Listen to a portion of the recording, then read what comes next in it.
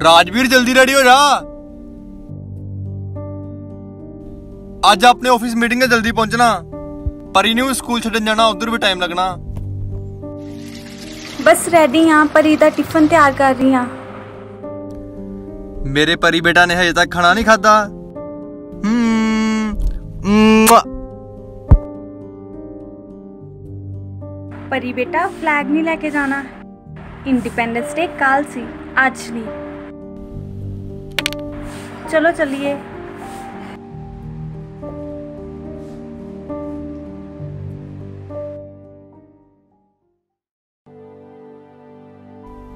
ਪਰੀ ਬੇਟਾ ਕੀ ਹੋਇਆ ਸੈਡ ਕਿਉਂ ਆ ਪਰੀ ਬੇਟਾ flag republic day and independence day ਤੇ ਲਹਿਰਾਉਂਦੇ ਆ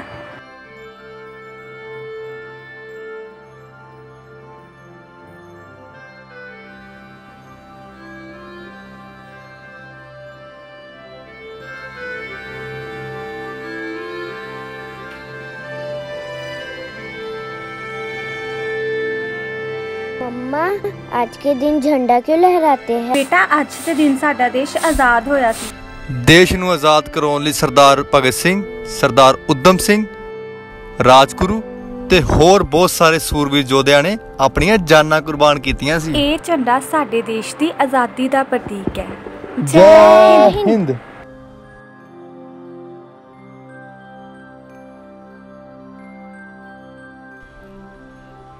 ਪਰੀ ਬਾਏ ਬਾਏ ਬਾਏ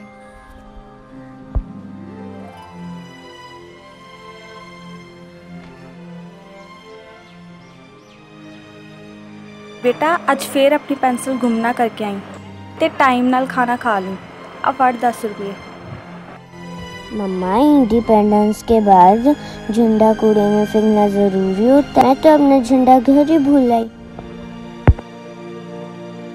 मम्मा ने तो मुझे बताया नहीं do you have any answer ਅਸੀਂ ਸਾਰੇ ਆਪਣੇ ਦੇਸ਼ ਨੂੰ ਬਹੁਤ ਪਿਆਰ ਕਰਦੇ ਹਾਂ ਪਰ 15 ਅਗਸਤ ਅਤੇ ਗਣਤੰਤਰ ਦਿਵਸ ਤੋਂ ਬਾਅਦ ਸਾਡੇ ਦੇਸ਼ ਦੀ ਆਜ਼ਾਦੀ ਦੇ ਪ੍ਰਤੀਕ ਝੰਡੇ ਦਾ ਕੋਈ ਮੁੱਲ ਨਹੀਂ ਤੁਸੀਂ ਸਾਰੇ ਇਸ ਬਾਰੇ ਕੀ ਸੋਚਦੇ ਹੋ